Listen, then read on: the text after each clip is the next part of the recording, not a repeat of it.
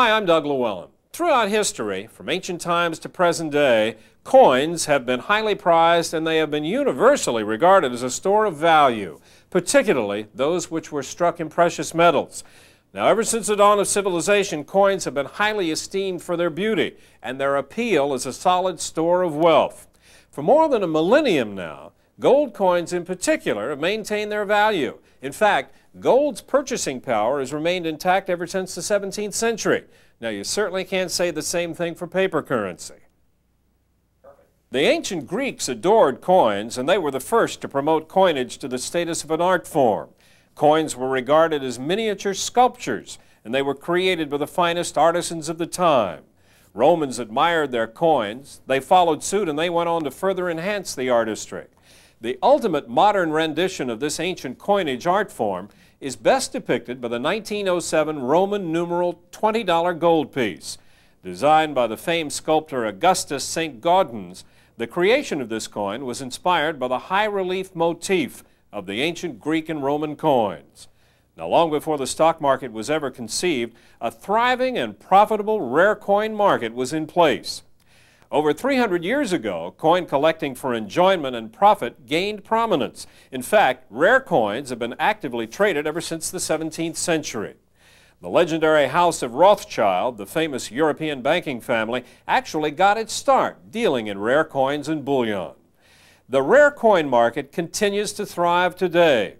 Worldwide, it's estimated that there are in excess of 100 million collectors, with as many as 10 million of them right here in the United States alone. The collectible of kings and the king of collectibles. From the king of Siam in the early 1800s to King Farouk of Egypt 150 years later, rare coins have been enthusiastically collected and passionately pursued by many of the world's rich and famous. The DuPonts, J. Paul Getty and J.P. Morgan were avid coin collectors, as were the famed composers Jerome Kern and Hoagy Carmichael, Hollywood actors Buddy Ebsen and Gary Burghoff, violinist Jascha Heifetz, U.S. Senator Jimmy Hayes, Israeli Prime Minister Moshe Dayan, and hockey superstar Wayne Gretzky, sports mogul Jerry Buss, the owner of the Los Angeles Laker, and tycoon Nelson Bunker Hunt, even the mega billionaire Bass family of Texas. Although this group has diverse backgrounds, they all have one thing in common a passionate desire to collect and profit from rare coins. Rare coin collecting is not only a rewarding pursuit and a wonderful pastime, it can also be very prudent and a highly profitable investment, as illustrated by the following examples. Baltimore banker Louis Eliasberg invested approximately $400,000 in coins between 1925 and 1950. He consequently thrilled his heirs when his spectacular collection brought $23.7 million in two separate sales, and Harold Bareford of New York invested only $13,832 over a 20-year collecting career. Yet these same coins sold at auction in 1978 for more than $1.2 million, and that was at market bottom. These collectors and scores of others like them realized substantial profits because, first and foremost, they were interested in their coins. Unlike short-term traders buying and selling in an attempt to outsmart the market, they were collectors first and investors second, and therein lies the secret to their success.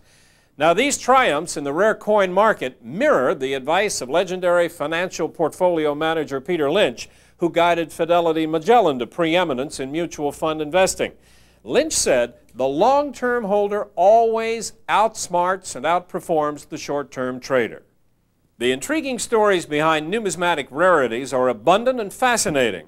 As you research numismatic lore, you'll uncover fascinating stories about such things as the Comstock lode and coins minted at the same time of the California gold rush. As you ponder stories of sunken treasure and long-lost hoards, you may find yourself intrigued by the involvement of presidents and first ladies. From Martha Washington, who donated her silverware, which was melted down to produce our nation's first coin, the 1792 half disme, to Theodore Roosevelt, who personally commissioned St. Gaudens, despite vehement opposition from Congress and chief engraver Charles Barber, to sculpt the Romanesque high relief $20 gold piece, which understandably is one of the world's most sought after coins. You know, it's kind of like holding history in your hands. Just imagine the incredible feeling of holding a rare, historic coin, marveling at its beauty, and at the same time wondering what kind of stories it could tell if only it could speak. For example, was the silver dollar used by George Washington for the infamous coin toss across the Potomac the one that's in your collection? Was your Dahlonega mint gold dollar used to help fund the Confederacy in the Civil War? Or was it used by Abe Lincoln to buy a ticket to admission to Ford's Theater on that fateful night back in 1865? Or did Wyatt Earp happen to carry it in his pocket all the way from Dodge City to Tombstone? Who knows? You know, not only is collecting a fascinating and educational pursuit, but it can certainly be a wonderfully profitable one as well. And to be honest with you, there is no one more knowledgeable in numismatics than Silvano DiGenova, the chairman of the board of Tangible Investments of America. Tangible Investments of America was founded back in 1977 and then incorporated in 1984 by Silvano DiGenova, who has long been recognized as a leading market maker in the rare coin industry. He began his career as a rare coin prodigy, trading coins as a dealer while he was still in high school. A self-made millionaire in coins before the age of 21, he left the Wharton School of Business at the University of Pennsylvania simply because he was losing money by staying in school. Mr. DiGenova is an authority on the rare coin market, grading, authenticity, and appraisals. He has been featured in Fortune magazine's People to Watch, quoted on the front page of the Wall Street Journal, and has been interviewed in hundreds of newspapers across the U.S. He additionally appeared several times as a commentator on CNN, FNN, and other financial news programs. Unparalleled credentials as America's top buyer. Why is it that coins are such a good investment? Well, first of all, it really has to do with supply and demand. There's a very fixed supply and there's an ever increasing demand. And the long term has shown us that coins have gone up. They've gone up faster than virtually any other uh, investment vehicle out there. Give me, give me a couple of examples. Well, a good example is Louis Eliasberg. He purchased a 1913 nickel in 1948 for $2,350. When his heirs sold it just last year, they realized $1,350,000. That's net after commissions. That's over 886% average annual return. In 1971, Sam Bloomfield purchased a 1907 St. Gaudens extremely high relief $20 gold piece for $55,000. When his collection was sold in December of 96, that same coin brought $825,000. That's an over 1,400% net profit or 56% average annual return. Most impressive by any standard. Now these, of course, are examples of very famous coin sales. What about sales that you've handled yourself? Well, we sold a client an 1853 arrows and rays quarter for $67,500. Within a year and a half, we liquidated it for him, and he netted $100,000. That's a tremendous return for just two years. Uh, another example is we sold an 1856 two and a half in proof 65 condition, another fairly rare coin, very rare coin. He paid $62,500. Um, I informed him about two years after the purchase that we had a client interested. Within a few days, he had a check for over $100,000 for that coin. Even more impressive is short-term profits that I've been able to achieve for clients. In December of 96, I sold an 1803 bust dollar graded proof 65 for $115,000. Later in 97, I resold that same coin for over $135,000. The client made $20,000 net profit in less than a few months. That's nearly a 70% average annual return. This example was not intended to lead you to believe that short-term profits are the norm. However, they are possible. So are these types of returns typical for the rare coin market? They're not typical, but they're definitely achievable, particularly when you buy from a firm like ours that works on a very tight margin. Is it true that rare coins have a, an established history of capital appreciation? As a matter of fact, Doug, rare coins have had a very long-term appreciation.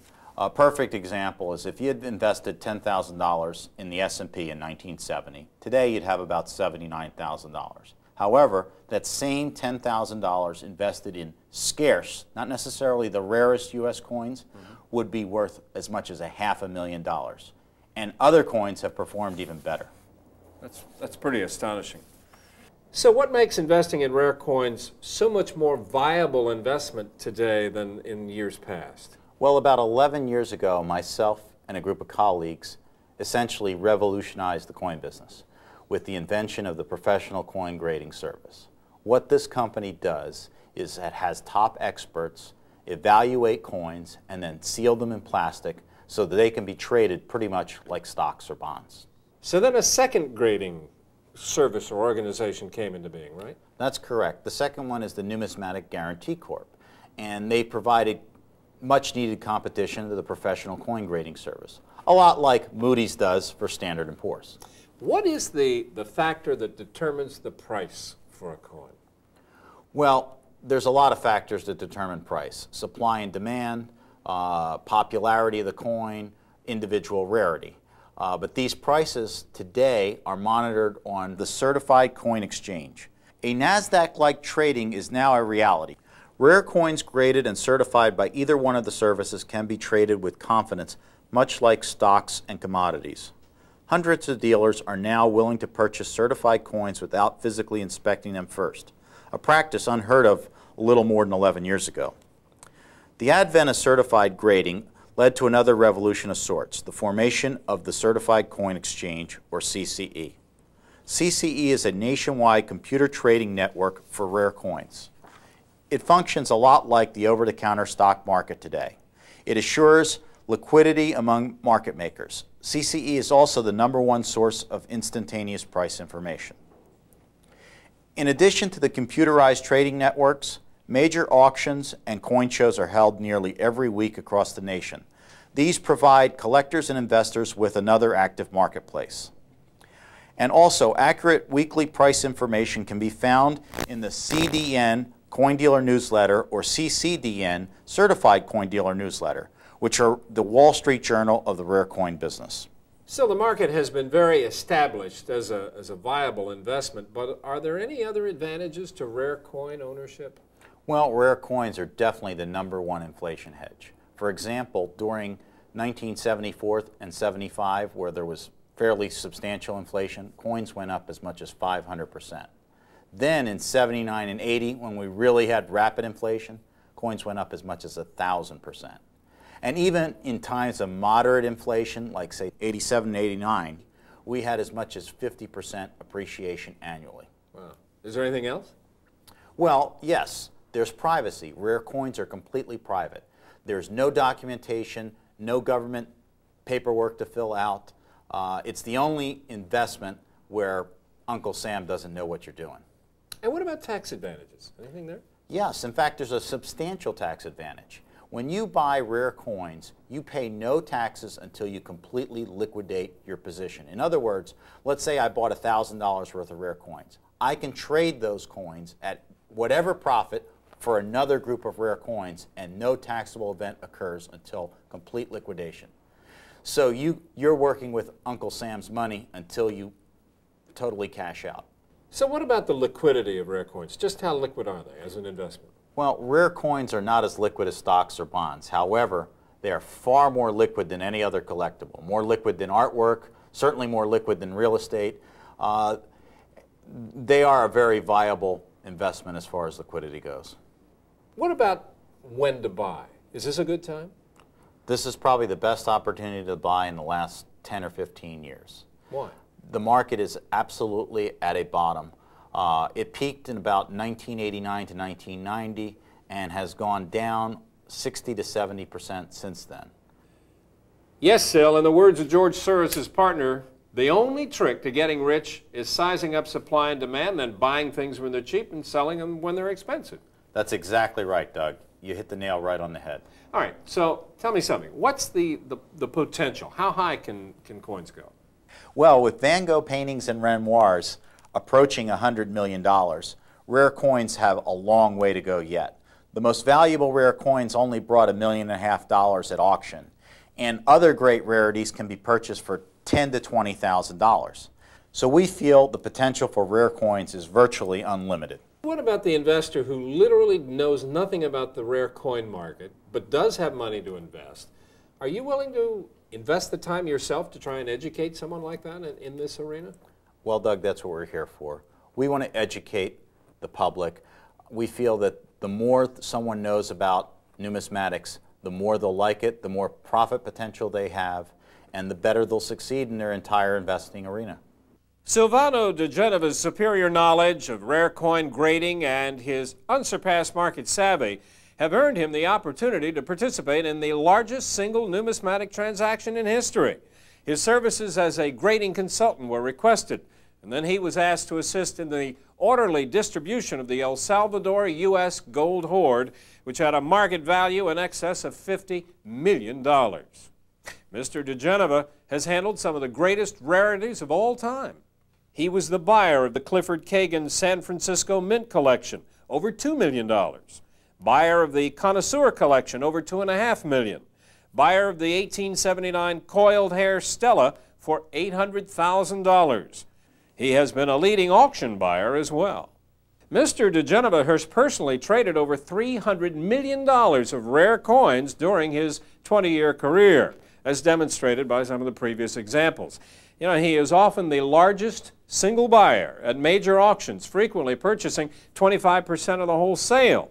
Of the 15 most expensive coins ever traded privately, Mr. DiGenova has personally purchased six of them. Additionally, Mr. DiGenova has worked with many noted museums, institutions, and major auction houses, including the San Francisco Mint Museum, Sotheby's, and Christie's, functioning as an agent on appraisals and private sales.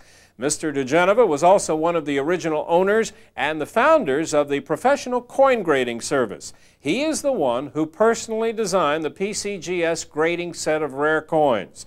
To this day, it is the standard for rare coin grading. To put it succinctly, coin grading today, accepted throughout the industry, is largely based on Mr. DiGenova's expertise. He is one of America's most successful rare coin traders.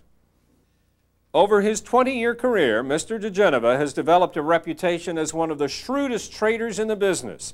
If stocks and bonds were his business, he'd be considered one of the elite traders on the floor of the stock exchange. But his business isn't stocks and bonds, it's rare coins. He has, however, managed a seven-figure rare coin limited partnership known as Tangible Partners LP and supervises numerous seven-figure rare coin positions on behalf of clients. A number of his peers and competitors have compared his abilities to those of the legendary Wall Street investor Warren Buffett and Fidelity Magellan mutual fund manager Peter Lynch. Similar to those great stock market investors, he makes money in the rare coin business every day by trading coins with the most experienced dealers in the business. In February of 1980, when the coin market was smoking hot and when experts were buying with reckless abandon, Mr. DiGenova liquidated his entire inventory. Then, just two months later, the rare coin market collapsed. In April of 1989, he sold his entire inventory to Kidder Peabody's American Rare Coin Fund at 10% over market value. Now, that was at the very same time that the experts had a real severe case of Wall Street fever. A little more than a month later, the coin market crashed. Financial strength, stability, longevity, and integrity.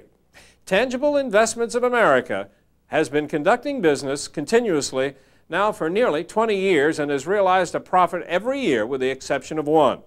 TIA maintains a seven-figure net worth and it's also debt-free and it has a staff of seasoned experts second to none. Tangible Investments of America, under the leadership of Mr. DiGenova, has assembled an elite staff of numismatic experts whose combined experience exceeds 200 years of rare coin trading. Collectively, they have traded more than three quarters of a billion dollars worth of rare coins. Now that's quite an achievement.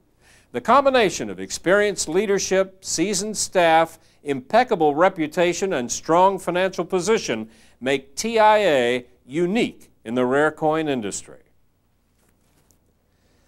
At Tangible Investments of America, customers acquire the optimum coins at the very best possible price, a winning and profitable combination. And that is the tangible difference.